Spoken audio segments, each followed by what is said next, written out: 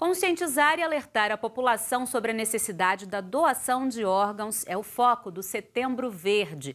Dados do Ministério da Saúde mostram que no Brasil atualmente existem mais de 40 mil pessoas na fila de espera para receber um órgão. Ana Flávia de Oliveira acompanhou a rotina de quem está nessa situação e também a alegria de quem conseguiu um transplante. Matheus tem insuficiência renal crônica há quase 10 anos. Após um ano e nove meses do diagnóstico, ele fez um transplante que não deu certo. E quanto mais tempo você tem de hemodiálise, mais resistência você cria. Para controlar a doença, Matheus tem uma rotina rigorosa. Ele não faz refeições fora de casa e toma mais de 20 medicamentos todos os dias. Ele espera ter mais qualidade de vida quando receber o novo rim. Eu nunca vou admitir é, desistir de fazer um novo transplante. Porque aí eu estou assumindo que eu não quero viver. Pelo contrário.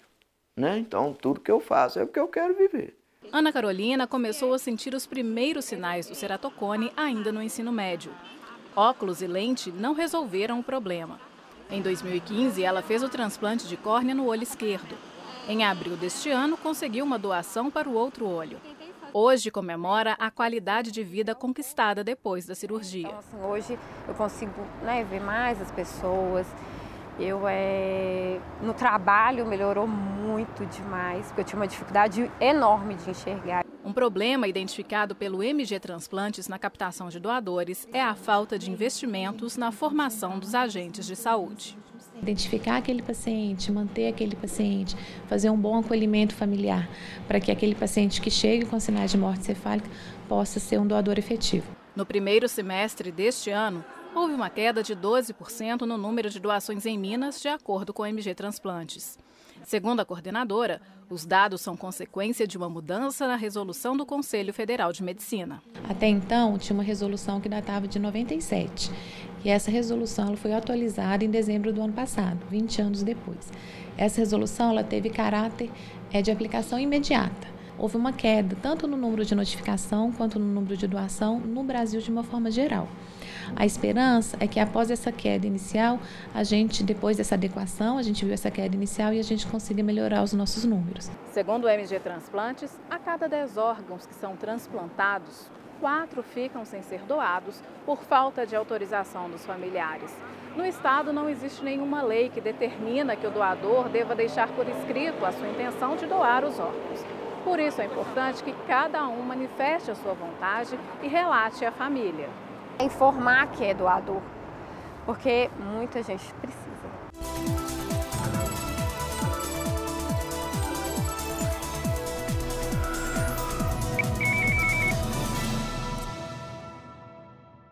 A expectativa de abstenção nessas eleições de 2018 é grande e preocupante. Na última pesquisa do IBOP divulgada, por exemplo, o número de eleitores com intenção de votar em branco e nulo chega a 21%. Mas você sabia que esses votos são excluídos na hora da contagem e não podem anular uma eleição? Veja mais em uma reportagem de André Cristino.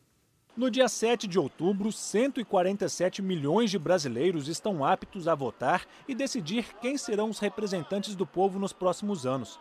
A maioria das pessoas faz questão de participar. Não, nunca votei, nunca votei. Porque a democracia é importante, né? Você participar da votação, escolher seus líderes. Porque todo jeito vai para alguém, por isso que eu nunca votei branco e nulo. Mas o número de quem prefere votar em branco ou anular o voto tem crescido. Em 2012, 26% e meio dos eleitores optaram por isso, segundo o TSE. Em 2016, foram 32,5%. Porque não tem candidato, não tem candidato com competência, entendeu? Aí meu voto é branco ou é nulo. Sempre que a eleição se aproxima, surge uma história de que se mais da metade dos eleitores votar branco ou anular o voto, a eleição será cancelada. Isso não acontece. Como o resultado é baseado em cima dos votos válidos, aqueles que são dados para algum candidato, vamos fazer um exemplo em um estado que tenha 100 mil eleitores. Para um candidato ser eleito governador, ele vai precisar de 50 mil e um votos no primeiro turno. Já se metade dos eleitores não votarem ou anularem o voto, o candidato vai precisar de 25 mil e um votos para ser eleito governador. A eleição não será anulada e será mais fácil chegar ao cargo. A única possibilidade de anular eleição através do chamado voto nulo não é esse voto 000 confirma. É quando você vota num candidato, esse candidato é cassado seja porque ele não podia ser candidato, seja porque ele praticou um ilícito grave, aí ele é cassado. Nesse caso, os votos que foram dados a eles se tornam nulos. Não votam válidos, mas que se tornaram votos anulados. O descaso apresentado pelos políticos com os interesses do povo é um dos responsáveis pelo aumento da abstenção nas urnas.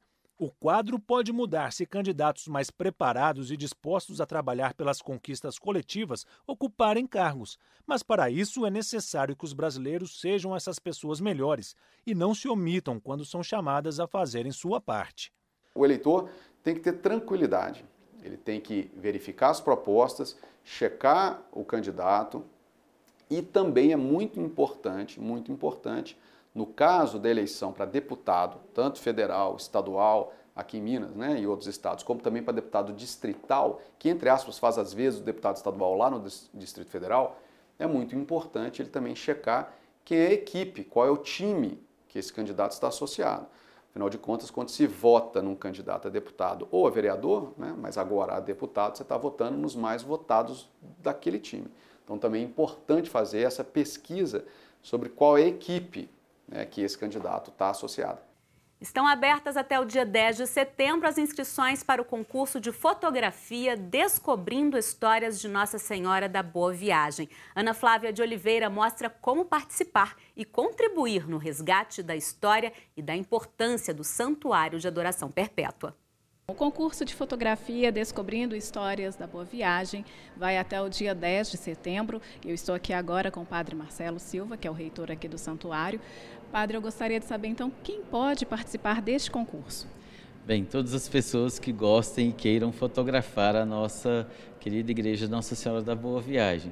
Sejam pessoas profissionais da área da fotografia ou aquelas que são, a gente chama de amadoras, mas que têm um pouco de sensibilidade e também gosta de fotografar. Ou seja, todo mundo que tem uma boa máquina na mão, seja profissional, um bom celular para registrar a nossa igreja. E ao escolher aquela fotografia, prestar muita atenção no regimento que está no site é, é, da paróquia, que por sua vez está ligado também ao site da Arquidiocese de Belo Horizonte. Quando e como será esta avaliação das fotos? Bem, até o dia 10 de setembro, as pessoas podem inscrever, vão estar abertas, né, os espaços estarão abertos do site do concurso de fotografias e depois de 10 de setembro nós teremos algumas semanas para avaliação é, desse material recebido. E o, a, a, apresentação dos resultados também né, serão, é, será apresentado é, nas semanas após a avaliação. Qual que é a premiação? Tem duas categorias, não é isso? Isso, tem a categoria profissional e a categoria amadora, ou seja, a, as pessoas têm aí então é, é, as possibilidades de serem premiadas com prêmios, por exemplo, como a viagem para Porto Seguro, é, máquina fotográfica semiprofissional ou também outros prêmios que estão ligados né, à, à promoção do concurso. Ana Flávia de Oliveira para o Horizonte Notícia. Lembrando que as fotos podem ser enviadas até o dia 10 de setembro para o site do concurso que aparece aí no seu vídeo.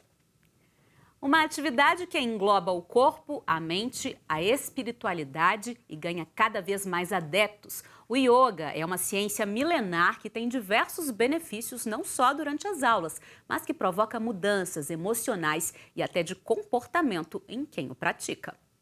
As posições do yoga parecem difíceis de serem executadas, mas o esforço vale a pena. A prática se confunde com a história da Índia e busca o autoconhecimento. O yoga é uma filosofia prática, né, uma filosofia de vida que surgiu na Índia antiga mais de 5 mil anos atrás.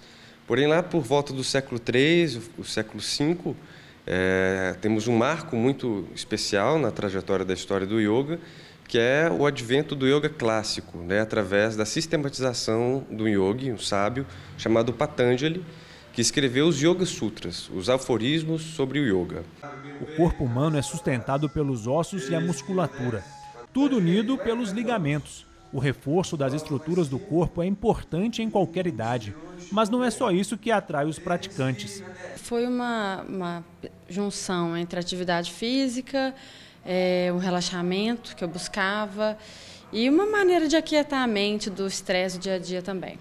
Há quatro meses, João aliou o yoga à musculação. Em pouco tempo já percebeu o resultado. Eu acho que fisicamente assim melhorou muito, é questão de é, flexibilidade, acho que resistência também. É, eu acho que mentalmente também assim você fica mais fica mais tranquilo poder resolver as coisas, entendeu? Conhecer a si mesmo mantendo a saúde é o que faz o número de praticantes crescer e não há limite de idade para começar. Yoga é para todos. O que você vai ter que observar é a metodologia. Primeiro, uma identificação com o professor e com aquela proposta de ensino, porque existem várias linhas, todas com o mesmo objetivo, cultivar o autoconhecimento, certo? Porém, tem yogas que são mais fortes, mais dinâmicos, aulas mais vigorosas, mais intensas, que vai ser bom para um tipo de pessoa. Às vezes, uma outra pessoa vai buscar uma, uma prática mais, mais relaxante, né? mais introspectiva. Então, de acordo com o momento de vida da pessoa e com o estilo de vida de cada um, o professor vai trabalhando de maneira integral diferentes aspectos da mesma filosofia, do mesmo yoga. O programa de hoje fica por aqui. Nós voltamos na próxima sexta-feira com mais Horizonte Notícia pelo canal 30 HD TV. Para assistir novamente a edição de hoje, basta acessar o tvhorizonte.com.br. Um ótimo fim de semana para todo mundo. Tchau!